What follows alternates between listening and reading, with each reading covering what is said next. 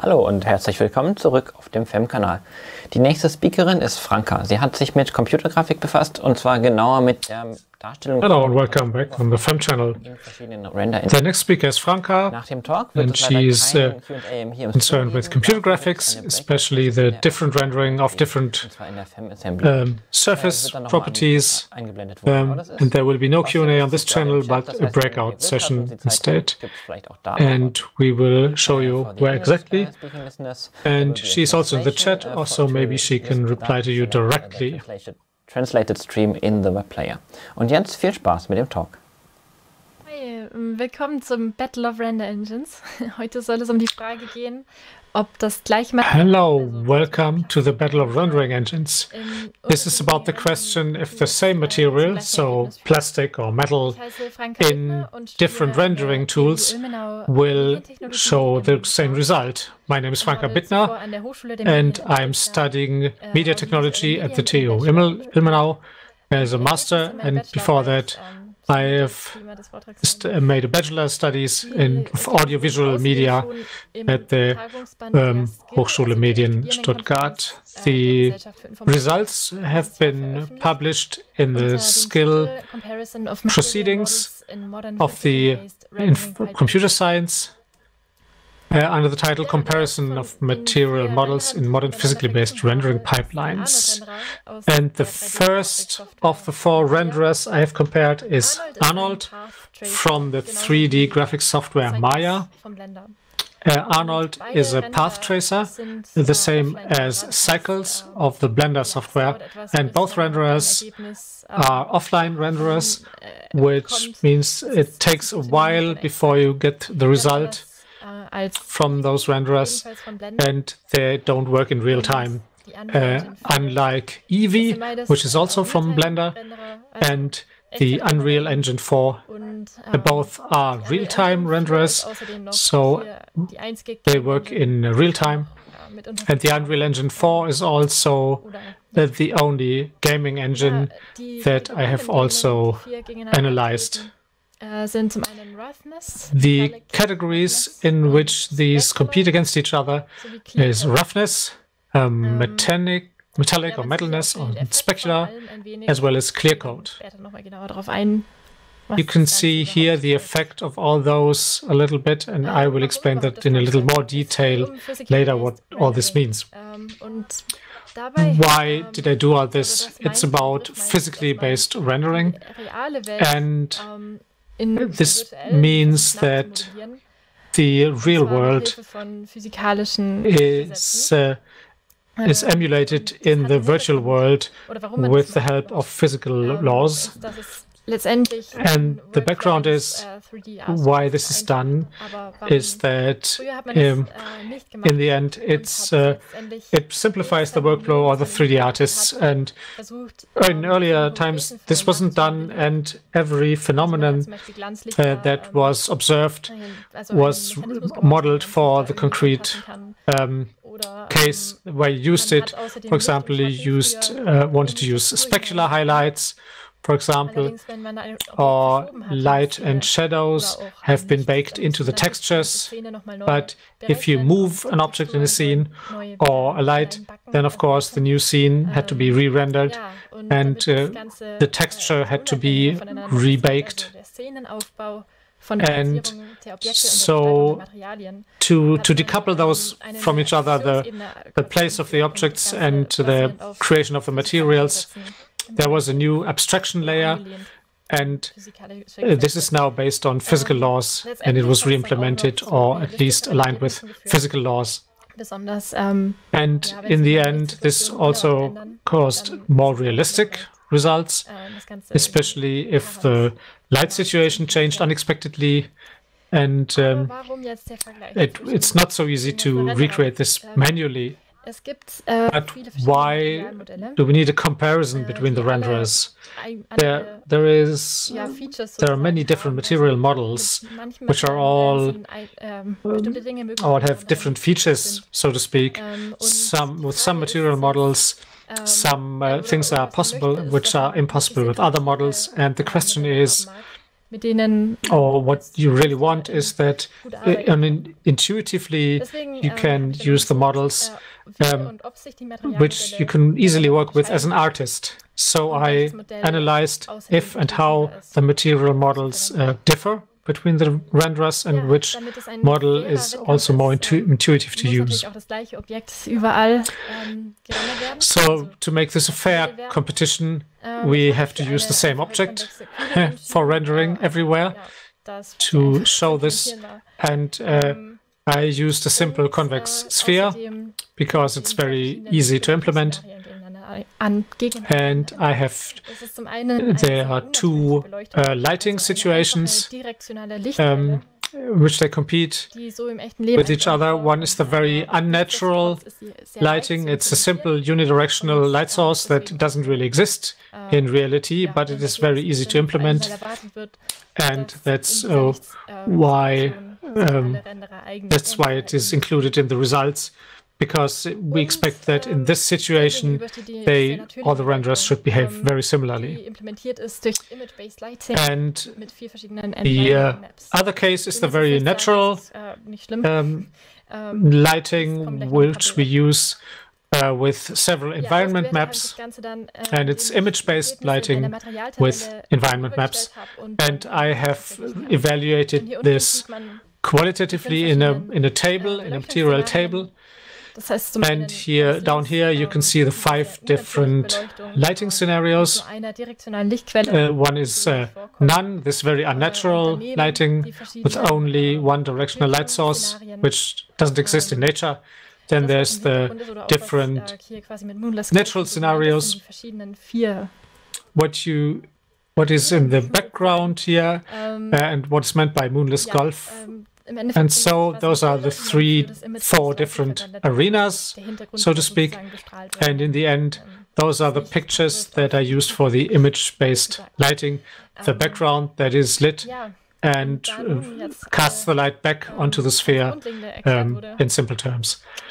bleibt nur noch zu sagen. And now, since all the basics uh, have been explained, let's go and fight. And here are the results for the result roughness. wie auch erwartet in der And natürlichen s- Beleuchtungssituation, at aber auch in first, maybe ähm, you see that sind die Ergebnisse not much is very different ähm, in this unnatural lighting situation, but also in other uh, scenarios, the results for, to the roughness are very similar. What does roughness mean, really? It's uh, about uh, an object is very rough or has a very smooth surface, and uh, so as a result, uh, reflects the light really um, focused or just distributed. Ähm, And here we can see uh, how I did this in this material table. I, for each renderer, I created a rendering framework um, tailored to the specific renderer, since there was no unified uh, unified interface. This will slowly arrive with Python now, but it wasn't at the time. So in steps, with a step uh, step size of 0.1, I changed the parameter. That's uh, for all parameters. Uh, I used the same step. And as you can see here, I have taken one picture and then put it into this table. So from roughness equals zero, which means a very, very, very smooth, so smooth that you can't even see the highlight until the roughness 1.0, which is the perfectly Lambertian rough material. it's not really that important. And here we can see in a material table with different pictures what has changed from step to step. So if roughness has gone from 0.1 to 0.1, what has changed? And when the color is red, it means it has become brighter. Uh, zero is white, as nothing has changed.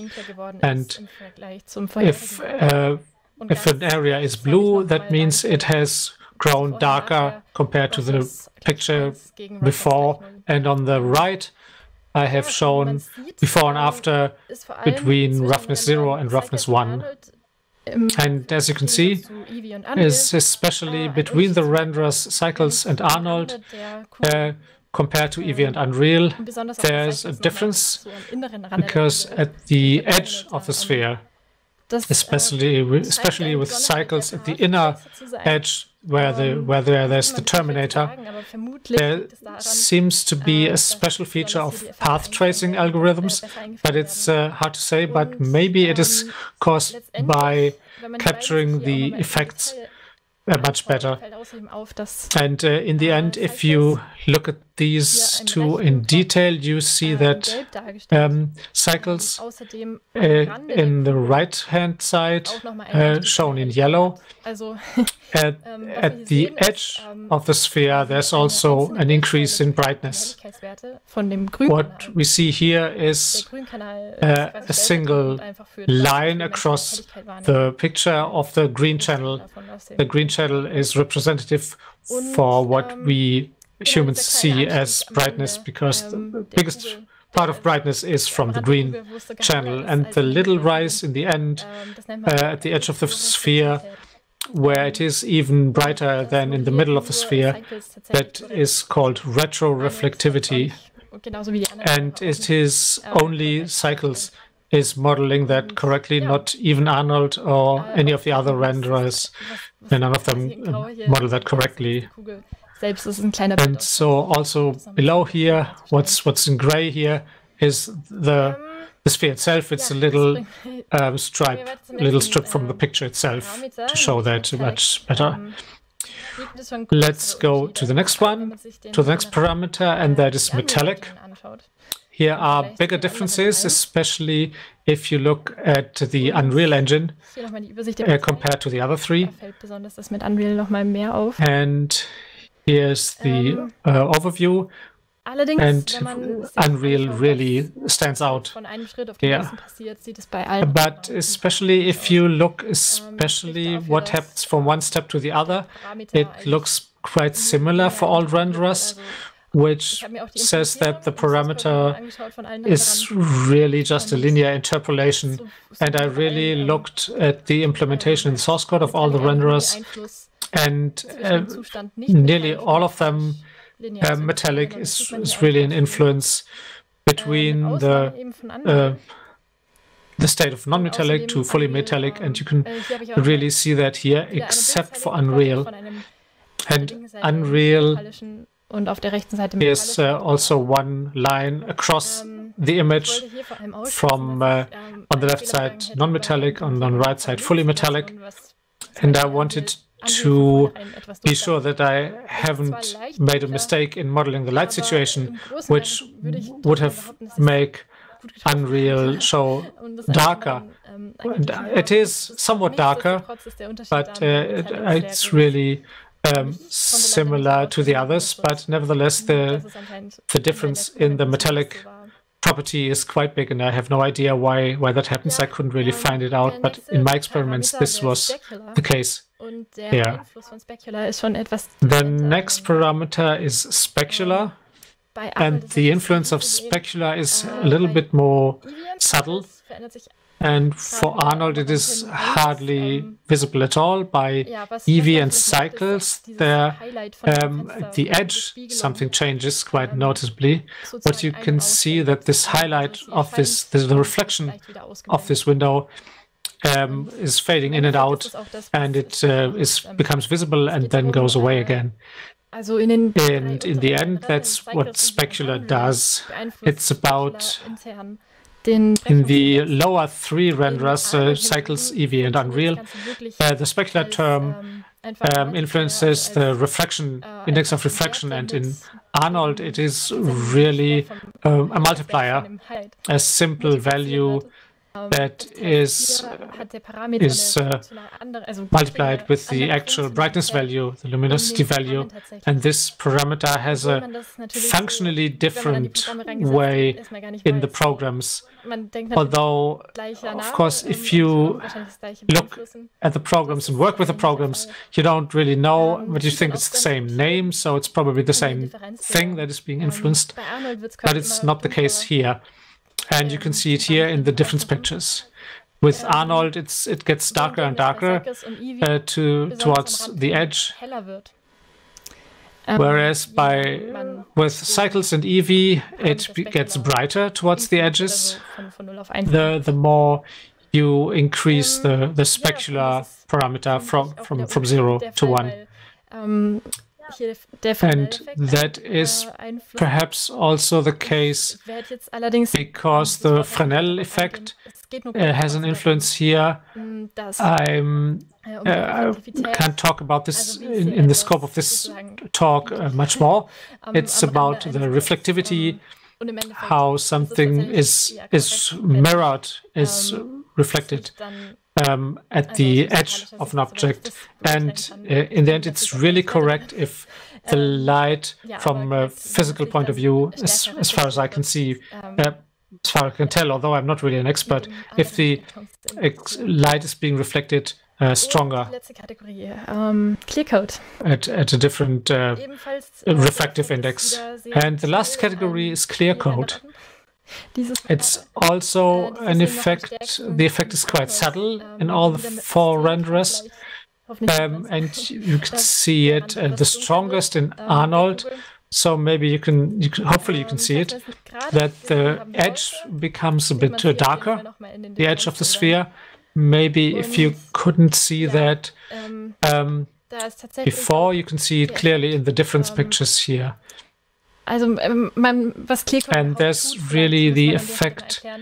Um, um, what Clearcoat does, uh, perhaps I have to explain that a little bit. There's a difference between Clearcoat and roughness, which is uh, rather subtle. So you really have to look very closely, as at least in, in, in the results um, of my evaluations here. Maybe in other scenes it can be seen more easily, or in other object shapes.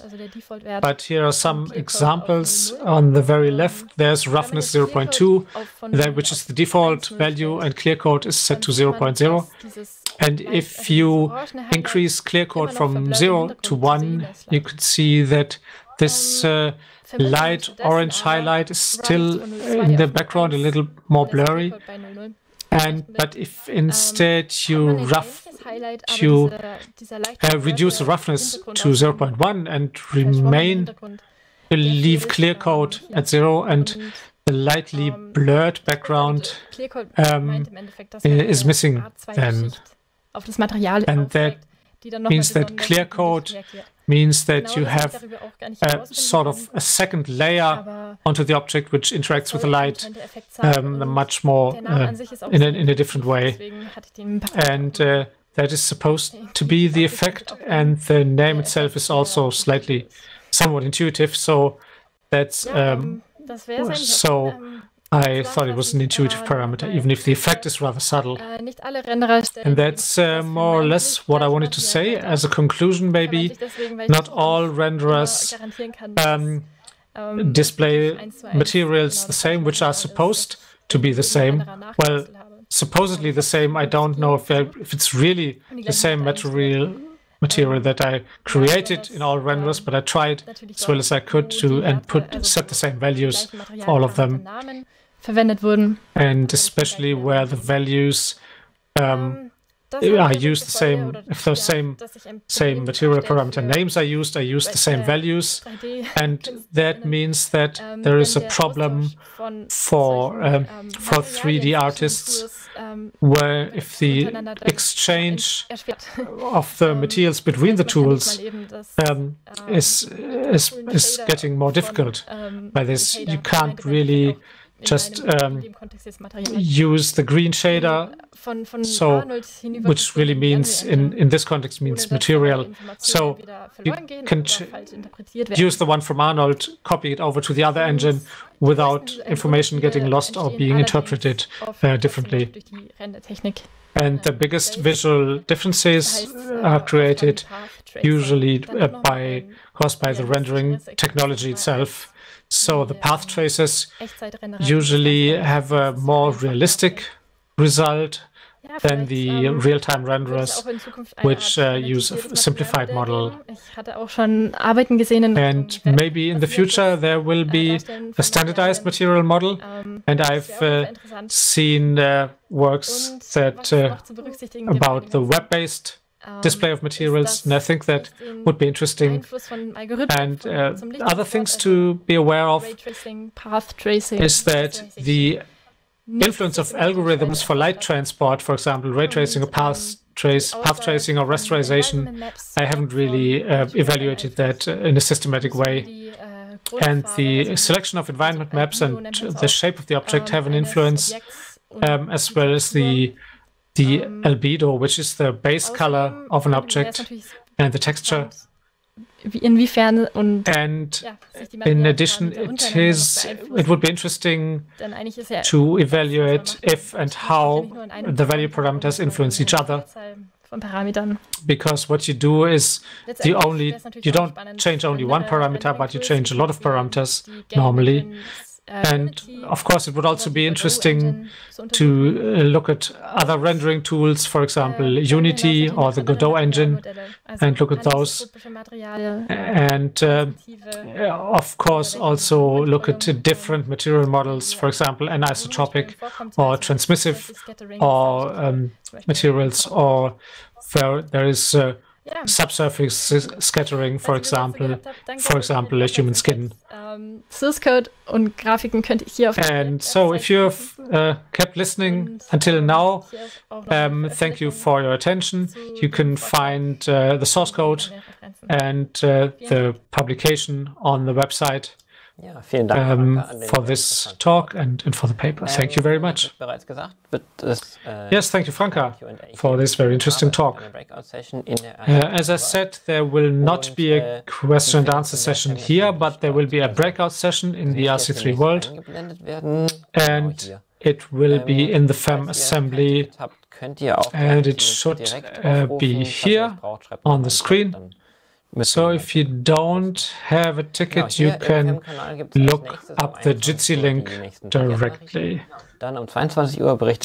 So, uh, thank you very much for your attention, also from the virtual translation booth. And you just heard the talk, Battle of the Rendering Engines. And uh, the translation was by Pink Dispatcher. And if you have any feedback for us, uh, please use the hashtag C3Lingo. Thank you and bye bye.